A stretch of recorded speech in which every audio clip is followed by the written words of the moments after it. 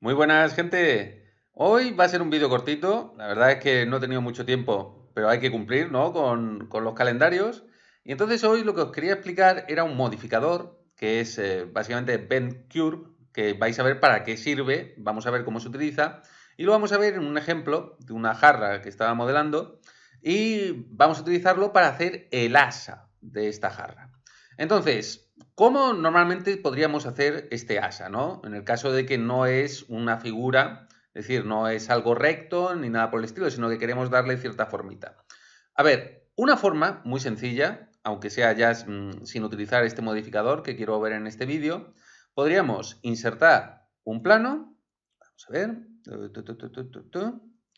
ahora mismo no lo vemos porque está girado, lo movemos a 90 grados, como veis está justo en el punto medio, y entonces ahora lo podemos utilizar como base para dibujar con la brocha de curvas, de multitube. Es que hay veces que me da esta vergüenza decirlo en inglés porque suena un poco raro.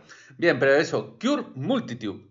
Entonces, simplemente, una vez elegido esto, podemos apoyarnos, si veis, está activa la subtool del plano, y podemos dibujar dentro de esa subtool. Como veis, tenemos una curva y al soltar ya nos genera justo ese tubo, ¿ves? porque básicamente es la forma que utiliza eh, en este pincel de ZBrush, y ahí ya podríamos ir modificando, ¿no? Un poquito, veis que es un poco difícil, hay que tener un poco de cuidado, pero bueno, podemos utilizarlo para de forma muy rápida el situar estos, eh, este tipo de asas, ¿no?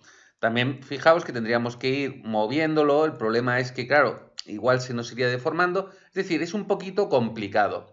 ¿Cómo podemos hacer algo con mucho más control? Pues vais a ver para qué vamos a utilizar ese modificador que os estaba comentando para el vídeo.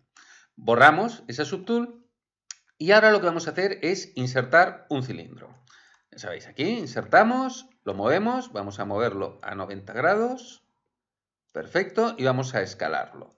Bien, y vamos a situarlo aquí, ya preparado para que sea justo en el centro de, por ejemplo, este, este anillo superior. Vamos a empezar por aquí. Vamos a ver, vamos a escalarlo. y vamos a estirarlo. Perfecto. Una cosa de este estilo. Bien, vemos que más o menos es concéntrico, tampoco ahora el objetivo es hacer nada perfecto, sino que entendáis cómo utilizar este modificador. Bien, entonces, una vez tenemos esto, ¿cómo podemos hacer que ese cilindro, como veis ahora mismo, tiene, a ver si activo las líneas, como veis, tiene ciertas subdivisiones, no demasiadas, pero es suficiente para que tengamos suficiente resolución. Perdón por repetir los términos.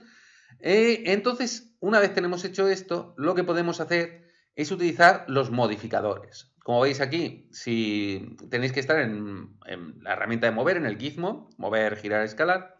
Y si dais aquí en la rueda dentada, abrimos todos los modificadores. Entonces, como veis, hay dos términos, bend arc y bend curve. Por ahora vamos a quedarnos con este, con la curva.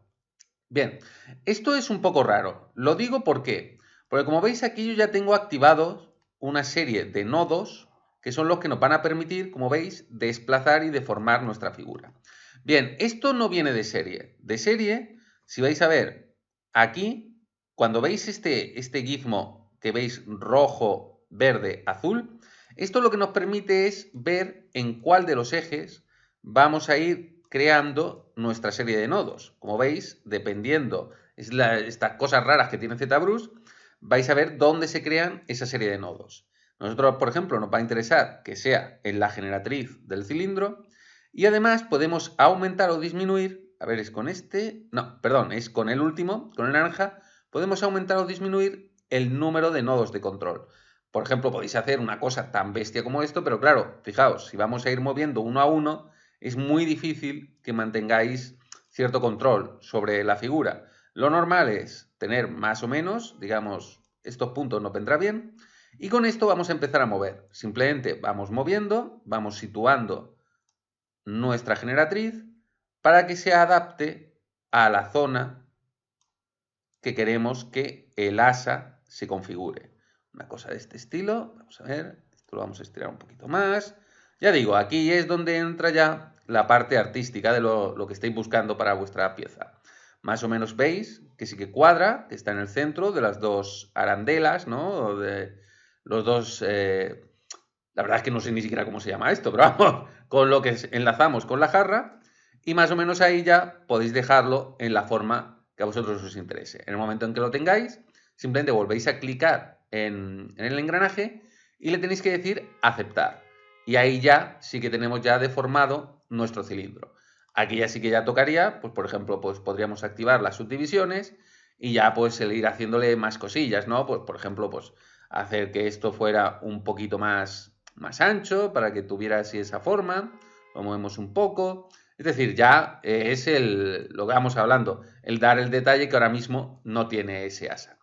Entonces ya veis, soy muy sencillito, pero creo que es bastante útil y que además os puede servir tanto para esto como para dar forma a figuras más complejas. Entonces, estos deformadores, que parece una tontería, la verdad es que muchas veces pues, nos puede salvar el día y hacer sobre todo que hagamos las cosas más rapidito y gastemos menos tiempo. Así que muchísimas gracias y ya nos vemos en los siguientes. Un abrazo, gente.